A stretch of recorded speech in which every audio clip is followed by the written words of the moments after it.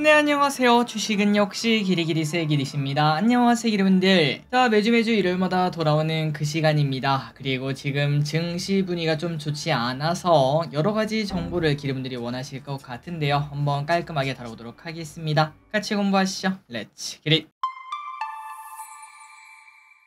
바로보도록 하겠습니다. 일단 주말 사이에 주요 뉴스가 뭐가 있는가 가장 기분이 좀 그런 소식은 이거예요. 버핏은 이미 주식을 팔아치우고 있다고 합니다. 깜짝 놀랄만한 소식이죠. 애플의 주식을 조금도 아니라 절반까지 줄였다고 합니다. 자, 그래서 지금 현재 버핏의 현금 보유량이 300조인가 400조인가 뭐 엄청나게 많은 돈을 가지고 있다고 해요. 그렇다면 그 돈을 안 쓰는 이유는 딱 뻔하겠죠. 버핏은 이렇게 될 줄 알고 있었나 봅니다. 물론 버핏이라고 어디까지 하락할지 그걸 알 수는 없을 거라고 생각합니다. 그럼에도 불구하고 우리가 이걸 봤을 때, 야, 버핏도 현금을 들고 있는데 나는 왜 현금을 안 들고 있는가? 이 부분에 대해서는 고민을 해볼 필요가 있다고 생각해요. 그래서 우리가 금요일날 공부했다시피 앞으로 증시가 어디까지 하락할지는 누구도 모릅니다. 우리 지금 아마도 이제 마음이 좀 불편하신 분들은 텔레그램, 그 다음에 뭐 유튜브, 그 다음에 블로그 등등등 정말 많은 내용을 접하고 계실 거라고 생각하고 그리고 솔직히 저 길이 또 하루 종일 검색하고 있는 건 사실이긴 한데요. 그런데 기름분들 아시다시피 사실 쓸모 없습니다. 그거 아무리 봐도 맞출 수 있는 사람 아무도 없고요. 저 길이 또 당연히 그거를 알 수 있는 부분이 아니겠죠. 하지만 여기서 생각을 해볼 거는 혹시나 혹시나 혹시나 이번이 내가 진짜 숟가락 바꿀 기회가 아닐까라는 생각을 해볼 수 있습니다. 물론 지금 주식창을 보면은 좀 답답하고 벌써 음전해가지고 내 계좌는 박살이 났다 이렇게 말씀하실 수 있지만 혹시나 앞으로 한 10% 20% 하락하는 장이 오게 된다면은 지금이라도 다 팔란 소리가 아닙니다. 그거 다 팔았다가 다시 올라오면 어떡해요? 그냥 한 10% 정도만 내가 가진 물량의 10%에서 조금 많이 본다면 한 20% 30%그 정도만 현금을 만들어 놓고 그리고 나중에 한 한 달 정도 뒤라든지 아니면 뭐 워렌 버핏이 뭐 주식을 매수했다든지 혹은 증시 하락이 너무나 가팔려서 정부에서 무슨 대책을 꺼냈다든지 등등 그런 얘기가 혹시나 나타날 때 그때 내가 현금을 쓰면은 꽤나 큰 수익을 거둘 가능성도 있겠죠. 저 기리스는 오히려 지금을 기회로 삼았으면 좋겠다라는 생각을 말씀드리고 있습니다. 어쨌든 앞으로 어떻게 될지는 지속적으로 한번 꼼꼼하게 다뤄보도록 하고요. 그리고 안 좋은 소식은 계속 이어지고 있습니다. 헤즈볼라, 이스라엘 접경지 공습 이런 얘기가 나오고 있고 그리고 또 뭐 그 근처에 지나가는 컨테이너선이 공격받았다 이런 얘기도 있으며 또한 5일 당장 내일이죠. 내일이 공습이 될 수 있다 이런 얘기까지 나타나고 있어서 일단은 지정학적 리스크도 커지고 있다는 거, 유가 관련주, 해운 관련주, 마지막으로 이제 방산 관련주 등등을 해지 전략으로 볼 가능성은 있어 보입니다. 어쨌든 아마도 이걸 올리고 난 다음에 내일 장이 열리기까지는 거의 24시간이 지나는데 그 사이에 정말 많은 소식이 쏟아지겠죠. 지속적으로 체크를 해 봐야겠네요.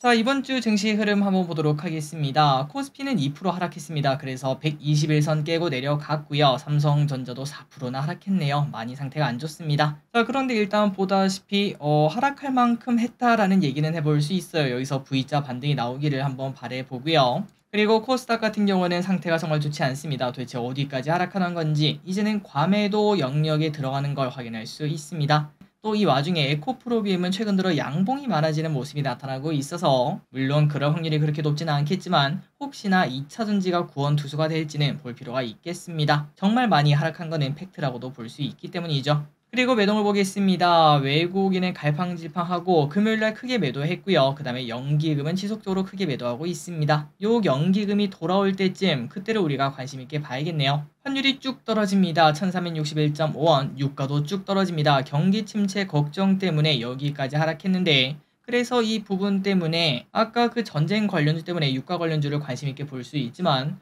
경기 침체는 유가를 떨어뜨리는 요인이에요. 그렇기 때문에 유가 관련주가 생각보다 안 좋을 수 있다는 건 참고하시면 될 것 같습니다. 그렇기 때문에 만약에 내가 해지를 좀 하고 싶다. 그렇다면 지난주에 좋았던 코로나 관련주나 아니면 해운 관련주, 방산 관련주를 조금 더 먼저 보는 것도 나쁘지 않을 것 같네요. 그리고 금요일날 미국 시장 어땠나? 많이 안 좋았습니다. 다우 1.5% 하라, 나스닥 2.4% 하라, S&P 500 1.8% 하라, 경기 침체 이야기 계속 나오고 있습니다. 그리고 미국 채권 또 크게 급락합니다. 10년물이 벌써 3.792까지 급락합니다. 비트코인 또 많이 하락하고 있습니다. 주말 사이에도 하락하는 모습이라 코스피는 1%가 넘는 하락 출발 가능성이 있습니다. 물론 아까도 말씀드렸다시피 지금은 이제 변동성이 매우 크다 보니 당장 내일 아침에 미국 선물이 급등 출발하면은 플러스 출발까지는 어렵겠지만 그래도 하락폭을 조금 조정받을 수는 있어 보입니다. 이 부분은 참고하시면 될 것 같아요. 자, 그래서 이제 다음 주 증시 전망을 해보도록 하겠습니다. 일단 난리가 났습니다. 어떠한 전망도 의미가 사실 없고요. 그리고 저 또한 이러한 하락장에서는 여러 가지 데이터를 보고 분석도 해보고 하지만 사실 의미는 크지 않습니다. 우리가 뭐 코로나 때 그랬고 2년 전에 그랬고 그 똑똑한 사람들 정말 많은 증권사 사람들이 예측을 꺼내도 그거 맞춘 사람 그렇게 많지 않았죠. 자 그렇다면 우리가 앞으로 어떤 행동을 해야 되는가 워렌 버핏이 역대급으로 현금을 늘리는 이때 우리도 급하게 매수하는 건 하지 말았으면 합니다. 그 대신에 오히려 현금 비중을 조금 만들어 보는 것도 나쁘지 않을 것 같고요. 그렇다면 그걸 언제 써야 되는가?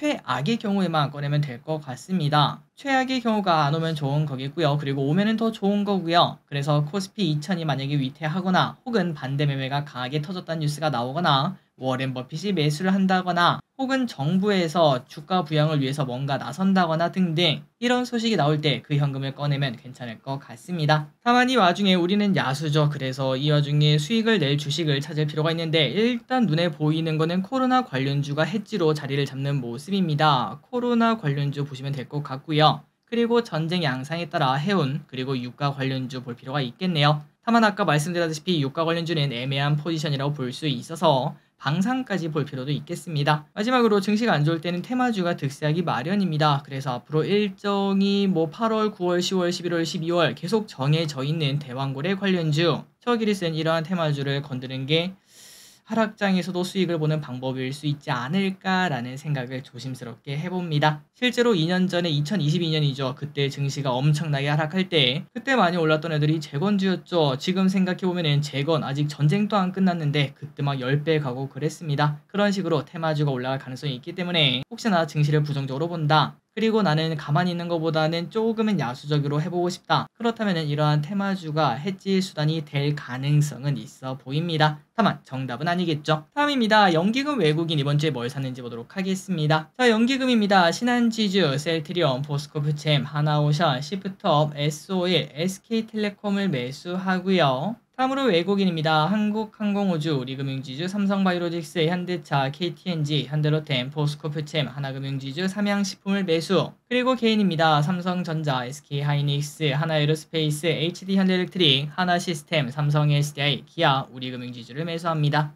그리고 실제로 만약에 경기 침체가 온다면은 어떤 주식이 수혜를 받을까라는 생각을 해봤을 때 우리가 돈이 없으면 뭐 먹을까요? 맞습니다. 싼 음식을 먹게 되겠죠. 그렇다면 라면 같은 음식료 관련주는 꽤나 괜찮을 수 있어 보이고요. 그리고 편의점 관련주 그런 것들이 또 대표적인 경기 침체 수혜주 아니겠습니까? 그래서 지난주 금요일에는 연기금이 BGF 리테일 등 그러한 편의점 주식을 샀다는 것도 참고하시면 좋을 것 같습니다. 테마주가 마음에 안 든다면 그런 쪽으로도 접근을 해보는 것도 나쁘지 않겠네요. 다음입니다. 이번 주에 무슨 일이 있었는지 복습해보도록 하겠습니다.